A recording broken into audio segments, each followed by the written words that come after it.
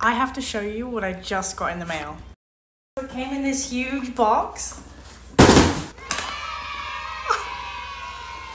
It's a mystery box of items from the Wish team. There is so much in here. Okay, hold on. Okay, the first thing. Oh my. Okay, wait.